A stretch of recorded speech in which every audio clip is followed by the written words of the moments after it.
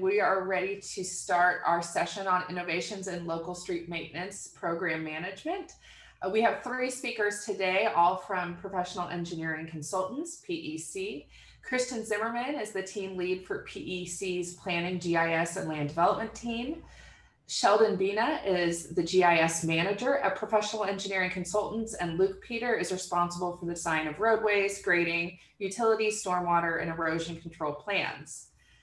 In this session, um, they will review innovations in street maintenance program management from the new GIS-based technologies that easily and affordably collect and map street condition inventories to proactive maintenance program planning to new surface treatment models methods these innovations can be applied by local governments to modernize operations, support database decision making, and save money over the life of the individual asset. And I'll turn it over to my colleagues at PEC. Thanks. Well, thank you, Lisa. We appreciate the introduction and appreciate the opportunity to uh, be a part of this exciting summit. So um, good morning, good to see everyone. Looks like we've got a great group of folks here. Uh, here with PEC, we do uh, partner with our clients to energize communities and shape the future. And as the on-call engineer for several cities in Kansas, we have had the opportunity to work with many public works departments, uh, leadership and staff on local street maintenance best practices uh, from design uh, of new streets all the way to maintenance and preservation of existing streets. And today we're going to be focused on a proactive management approach that does make the best use of these limited life cycle dollars uh, that local governments have to use for street maintenance. So we, we know that uh, the local street system is one of the largest assets held by local governments. As you can see on the screen here, millions of dollars are spent constructing and maintaining them. Uh, this this uh, specific table is, is a table of the dollars that have been spent just in the Wichita metro area just on the regional transportation system. So these are the major arterials and the highways in our region and the public transit system. So you can see the uh, impact from local governments. Uh, they're contributing 45% of the total funding to this regional system plus the entirety of all of their local streets. So we know that that local governments play play a big role here, have spent a lot of money on their local streets and want to take care of that investment. Uh, next slide, please. And if you are familiar with local governments, uh, we all know how much citizens do care about their streets. Uh, we know that our citizens care about the condition, the parking, uh, the capacity, and the speed of drivers going down the, the street. And if you are familiar with local government, you might hear how much they care about uh, these issues, as, as quoted quite eloquently by Leslie Knope from the Parks and Rec uh, TV show you might be familiar with. So uh, it only makes sense. It is their tax dollars at work that are being used to pay for these streets. And so there is a lot of concern there. So uh, given the importance of the streets, the local street system, today's session will be reviewing innovations in local street um, maintenance program management. Sheldon Bina is here, our GIS manager, and he's gonna talk some about the, these new GIS-based technologies that can be used easily and affordably to collect and map street condition data and keep track of and manage uh, this data over the long term.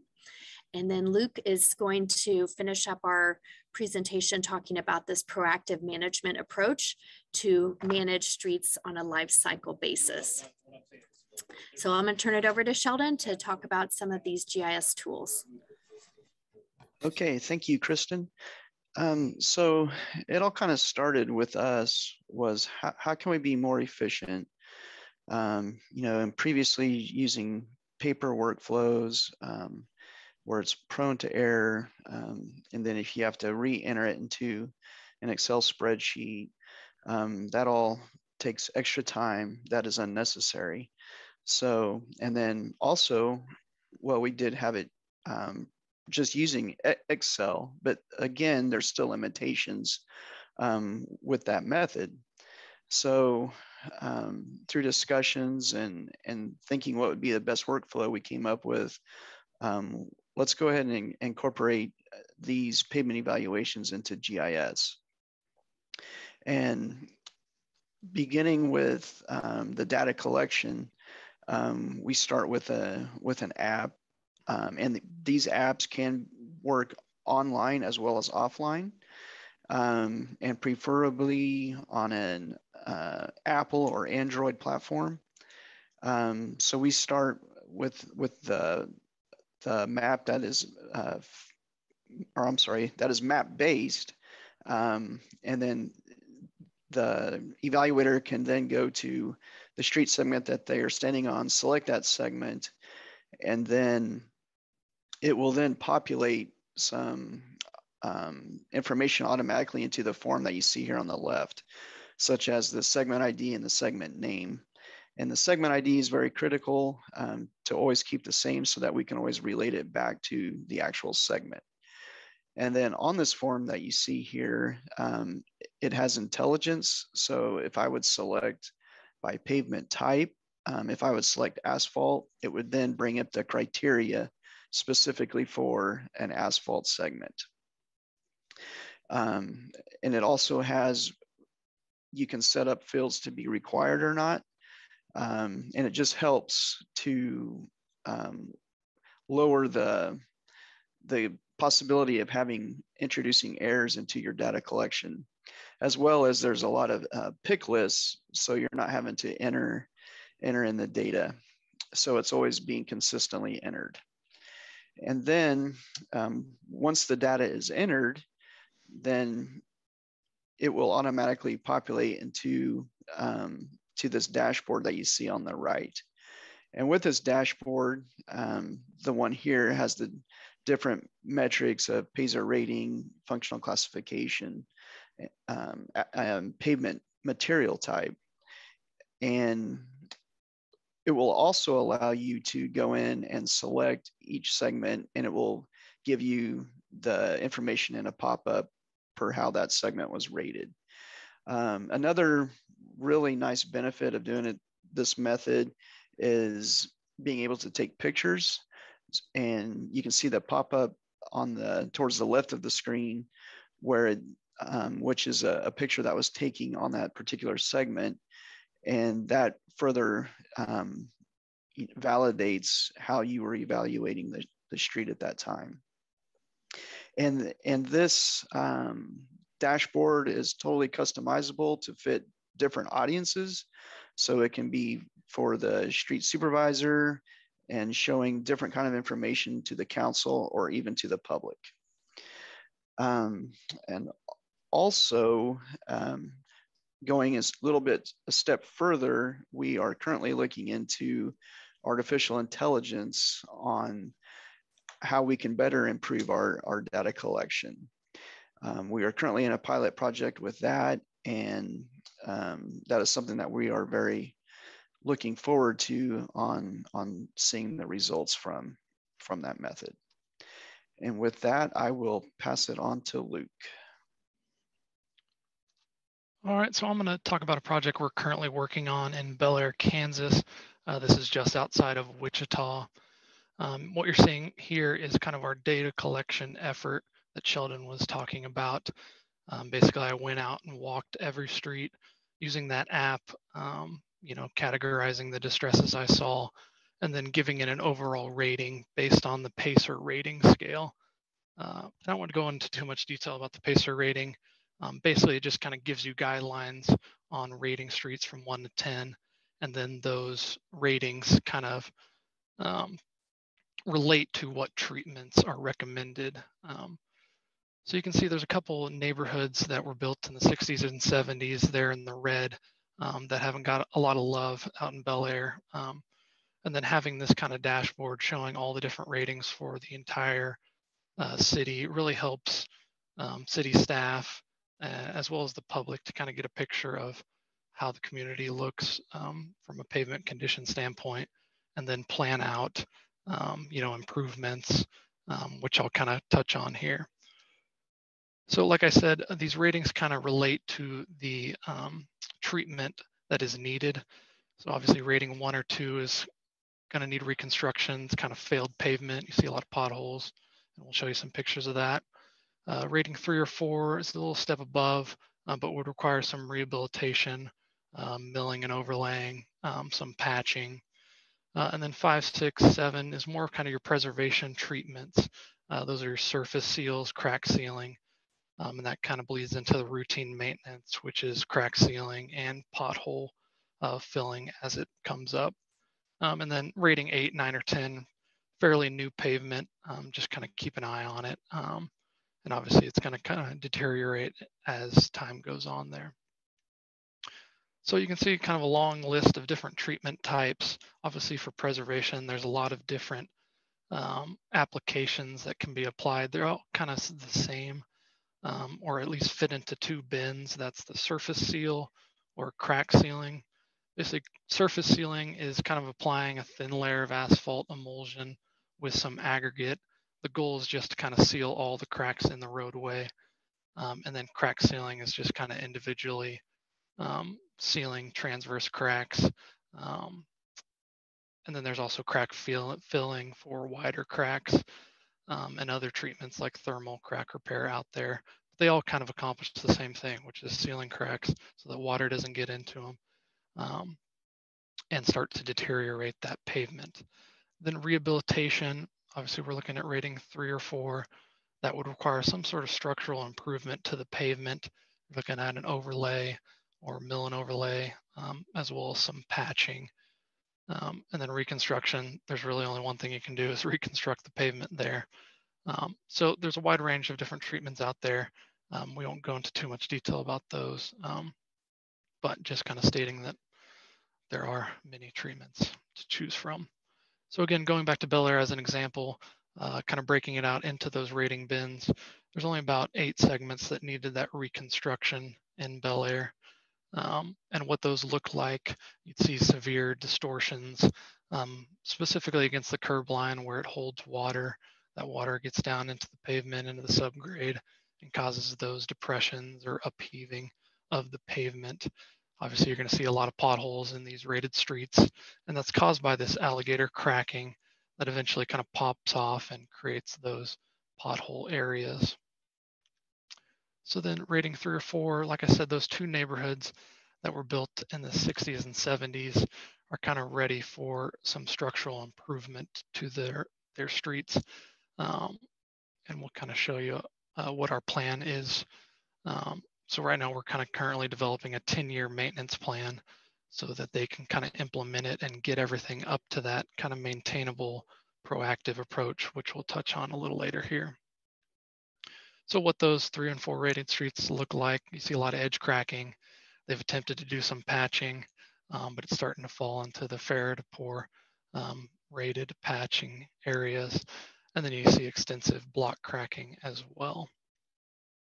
Then finally, the uh, five and six rated streets kind of spread out. Um, these were built in the 90s, 2000s. They've seen some treatments, but they're kind of fall, starting to fall into um, needing some sort of treatment um, to kind of bring them up uh, so that they don't fall into that rehab reconstruction zone. That's really kind of the goal is to keep things in this preservation zone for as long as possible because once you drop down into that rehab reconstruction, things get uh, pretty expensive.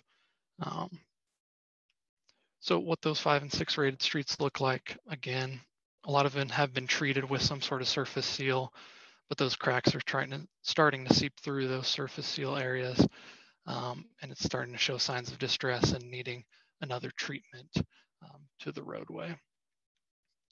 So this is kind of the approach that we're advocating for. Um, is a proactive approach to pavement management. Um, a lot of these smaller towns have a more reactionary approach, um, which is, you know, you put in a new road, don't touch it until it starts to cause problems and fall into disarray, and then you're looking at a more expensive uh, improvement to the road. Um, and just in general, we as humans generally have a reactionary approach to a lot of things. Um, but obviously having a more proactive staying on top of it, doing treatments while it's still in that good to fair range will extend the life of the pavement and obviously save the city money um, and impact the communities less by construction. Um, you know, a lot of these pres preservation treatments can be done in a day um, and don't impact the neighborhood as much of a as a mill and overlay or reconstruction will. Um, so that chart kind of uh, illustrates the goal there in the blue is to you know hit those treatments early and often um, to seal those cracks um, and extend the life of the pavement. Now, eventually, you'll obviously need to mill and overlay or do some sort of reconstruction. You know, you can't keep putting band-aids on it forever, but at least extending the life of the pavement and kind of categorizing everything helps you plan it out better for when those reconstruction and mill and overlay projects need to come because um, eventually they'll need to happen. But right now in Bel Aire, you know, we're kind of playing catch up because there is so much of that that is needed. Um, so again, some other points for an effective pavement preservation strategy. Like I said, you want to hit good pavement ahead of distresses, not just hitting the worst streets first, um, but extending the life of those kind of average rated streets. Um, and applied at the right time, um, pavement is restored in new condition if you do preservation right. Um, and obviously the cumulative effect of treatments postpones that rehab, um, that costly rehab or reconstruction. Um, so like I said, it's less expensive over the long term and less disruptive to traffic as well. Um, and just for comparison's sake, um, you know, a preservation treatment um, compared to a rehab or reconstruction, a rehab is going to run you four to five X what a preservation treatment is going to cost. And a reconstruction is about 10 to 12X the cost. Um, so you can kind of see you can build up multiple of those preservation surface seal type treatments um, for the cost of what is an intrusive um, rehab or reconstruction um, type treatment. So going back to Bel Aire again, first we kind of divided everything up into neighborhoods that kind of match the pavement condition. Um, you know, it kind of matches when these uh, neighborhoods were put in is how the pavement condition looks today.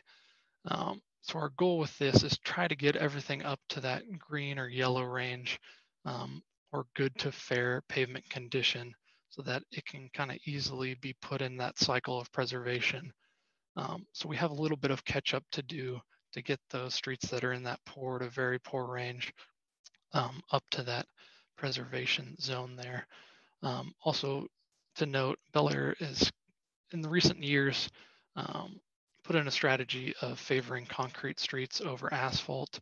So you can see a lot of the concrete development to the northeast here um, is recent developments that they've put in with concrete. Um, obviously, concrete is more expensive initially, um, but it costs less over time maintenance wise. So that's why they're kind of favor, favoring concrete streets um, for their newer developments. Um, so just something to note there. Um, so we'll come back to this when we um, update it in five years. So our goal is to kind of give them a five-year strategy of what areas to hit with what treatments um, in order to get everything up to that good to fair um, pavement condition. So I'm going to be showing you the first five years that we've planned out. Again, this first five years, we're kind of playing catch up. Um, they have a little extra funds in this first year um, to do so. So you can kind of see in those worst neighborhoods, we were proposed doing some full depth patching, um, but not forgetting, again, the streets that could fall into that rehab rating, still doing some surface seals um, in those neighborhoods. Um, again, we don't want to just do worst first, because um, if you forget about those streets rated five to six, they could easily fall into that rehab category. Um, so you kind of see what we're hitting in that first year. Then the second year, we're coming back and milling overlaying those um, worse rated neighborhoods. Um, also doing some microsurfacing, which is a form of surface sealing to some arterial streets as well. And you can kind of see our budget number kind of goes down as we go. This year three, we're hitting the last of those um, worst rated streets there. Um, and then by year four, we're getting back into kind of a normal um, preservation treatments um, to various neighborhoods, doing surface seals to a couple neighborhoods, uh, as well as some of the arterial streets around Bel Aire. Um, and then year five, again, same thing, doing more surface seals of that preservation treatment type. Um, and as the years go on, we do give them additional funds um, just because, you know, we can't really predict the future. You know, the first five years, we have kind of a good handle on how the pavement will deteriorate. But beyond that, um, the city plans to do evaluations, you know, every three to five years so that they can have a better picture um, of what streets need to be hit next. So we want to give them some flexibility with this, not just be so rigid that they do this exact um, maintenance plan um, because you know nobody can predict the future. Nobody knows the price of asphalt it keeps going up. Um, there's many variables that go into um, how the streets will deteriorate and you know the city's budget. Um, so giving them that flexibility and the tools to make those decisions is really important. Um, you know, I went out there and walked the streets with city staff, um, showing them the app, giving them the tools so that they can do this, um, and obviously reference us if needed. Um, but I mean, this stuff is, you know, fairly simple, but it's a little overwhelming on where to start. So we're giving them um, that good start um, to jump off of. So you can see here, uh, this is kind of the progress after the five years if they stick to this plan, um, kind of the ratings of the streets uh, that we would predict getting everything or most everything into that good to fair pavement condition range. Um, and then obviously, you know, in that five years, we would suspect some of the streets that were in that good condition kind of fall into the more fair to good range. Um, and that's that's totally fine. That just means it's ready for some sort of preservation treatment. Um, so you can see here it's flip-flopping between 2022 and what we would expect in 2027 if they stick to the plan. So you can kind of see all those worst rated streets get up to that good range um, and some of the good streets fall into more um, fair pavement condition. Um, but it makes it a lot easier from here to kind of sort out what the next steps are um, because everything's kind of jump started and back to a neutral level that then we can um, put that proactive strategy to work. Um, so that's kind of our first five years. We're still developing years six through 10. Um, we're actually meeting with Bel Aire City Council tonight to kind of go over this plan with them. Um, but that's just kind of an introduction and in how we're tackling um, this pavement evaluation and maintenance planning for this local municipality. Um, so with that, I'll we'll pause for any questions you guys might have. Thank you, Luke, Kristen, and Sheldon. I know that there was a question that was posted in chat that Kristen responded to already, but while other folks are posting their questions, uh, the question Seth posted was how does PASER rating relate to PCI rating? Um, and Kristen, you answered it in the chat, um, but do you want to give a little information to the group? You are muted. Let's see if we can unmute. Thank, oh, thank you, Lisa. I got it. Thank you. Yeah, sure thing. So the PCI rating, um, that's a, a, different pavement um, methodology, pavement condition assessment methodology. It stands for Pavement Condition Index. It is on a 1 to 100 scale, where the PASER rating is on a 1 to 10 scale. In general, we found the PCI to be um, a little bit more involved, I think, than then probably we felt like would be a good fit for um, some of our clients to be able to do on a recurring basis that was um, an affordable way and something that um, they could stick with in an ongoing basis. So that's what I tried to kind of lay out there in terms of why we um, why why we chose the PASER rating over the the PCI. Luke, I don't know if you want to add add any more to that. Uh, no, you did a great job of explaining. Um, I mean, they both pretty much do the same thing. It's just setting a rating to your street so that then you can evaluate and plan accordingly. Um, it kind of splits up by region. It seems like a lot of the Midwest uses the PASER rating, and maybe the PCI is specific to another area. But everything I've seen around here, um, most people use the PASER rating, and it's just simpler. You know, one through 10, one through 100 just make it one through 10. It's easier and makes it uh, easier for stakeholders and city staff to understand it. So Yeah, most of our clients we're working with, you know, this is just one small aspect of their job. And um, you know, it's a big, it's a big step forward to get something like this implemented in terms of these GIS tools and the dashboard and this process to kind of go about how this proactive approach. So uh, yeah, we definitely leaned on the, the side of, of something more simpler. And then I also noted that it does include a methodology for assessing gravel streets, which the PCI doesn't. And some, some of our cities do have gravel streets we needed to account for.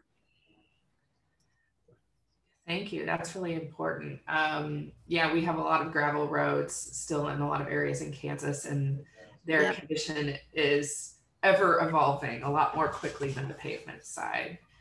Um, so I don't see any other questions in the chat.